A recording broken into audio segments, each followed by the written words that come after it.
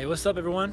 And welcome to a beautiful day in California. An okay day? Okay, fine. It's just a crappy day in California today.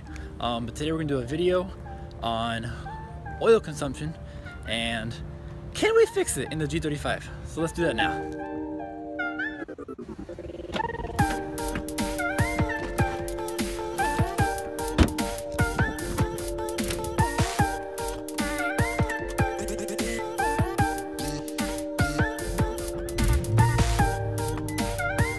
First off, I want to say if you own a G35 um, or 350Z and it does not consume oil, I want to give you a round of applause, a congratulatory high five through the camera because you have a motor that is very rare in the Infiniti and G35 world. Um, so today we're talking about the VQ35DE, uh, DE and rev up.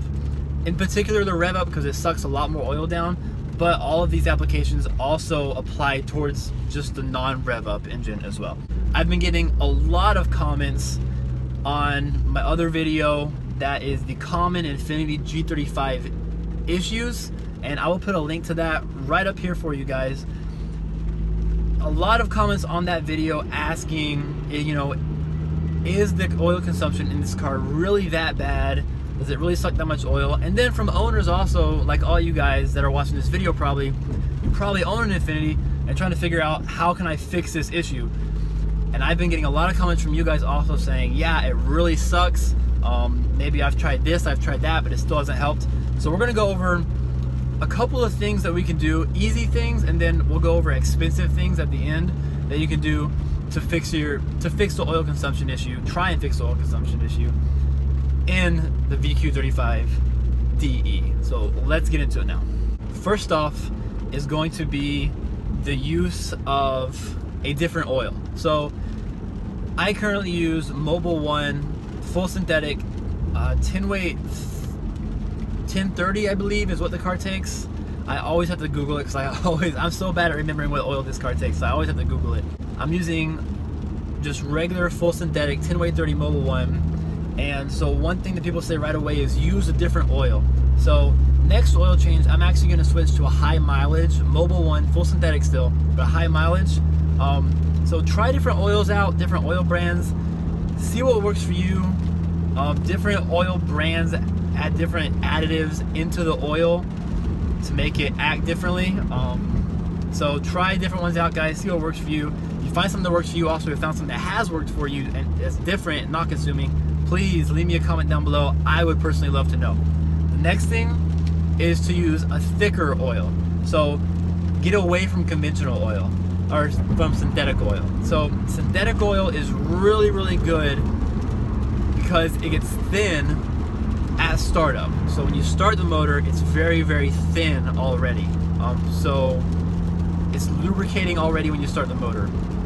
Conventional oil is a lot this is why a lot of new motors don't use conventional conventional oil because it takes a lot longer for the viscosity of the oil to get thin.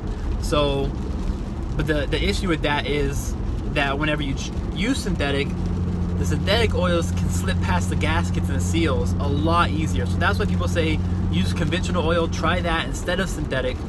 See if that helps you because because it's thicker, it may not get past those piston rings and those valve seals as easily. The last thing guys is super easy is just don't drive your car hard. So you'll probably still consume oil. I don't drive hard right now. I'm still consuming oil. But I'm telling you right now, if I redline or I am pushing the car to its limits all the time, I'm consuming oil a lot quicker. So if you take care of the car, drive it like a baby, you'll consume oil a lot less. Okay, so you're saying, Steven, I've already done all those things. I've already tried it. It's not working for me. So what can what else can I do? So the next thing you can do is they're still relatively cheap guys is number one change out your PCV valve. PCV stands for positive crankcase ventilation. It's a system in the car that keeps pressure equal throughout the ventilation system, uh, throughout the crankcase system. If your PCV valve is broken, will be leaking oil um, it could be stuck open. So if it's stuck open, then you're just pretty much throwing oil fumes and oil into your lower manifold. So that right there, bam, losing oil just like that, super easy. So change out your PCV valve. It's extremely easy to do. It may take five to 10 minutes and that's it guys. It's super easy. The next thing, a little bit more expensive, but it's only gonna cost you, you can get cheap ones for about $100, $200, is a catch can system. So this sits in between your PCV valve and your lower manifold where the tube is right now, which I will show you guys a video of where that location is uh, right now in a different picture. A catch can will sit right there in between your valve um, I did install a catch can already on my car. I'll put a little link up here in the corner. You guys can go watch that video um, on my catch can that I installed. It works. I am definitely catching oil. There was definitely oil spitting. Even after I changed the PCV valve, I was still leaking oil through the PCV system, um, which that's what it's meant to do. You can't be mad at it. That's what the PCV valve system is there for. So I was still leaking oil, but it fixed it for the most part. So that's number two. Super easy. Put a catch can in the car, see if that works. Now we'll get into the expensive stuff. So obviously number one is buy a new motor. That's crazy expensive. Um, we don't want to go there. So other things you can do, obviously still expensive, is in the VQ35 DE, most of the oil that's leaking is leaking through two places, the piston rings the valve seals internally. So if you've changed your oil, you got a catch can, new PCV valve, everything's brand new, everything looks great, and you're still leaking oil, it's all internal. So it's most likely in this motor through piston rings and through the valve seals. So obviously you can buy new pistons. New pistons will come with new seals, uh, new seals, AKA your piston seals aren't leaking anymore.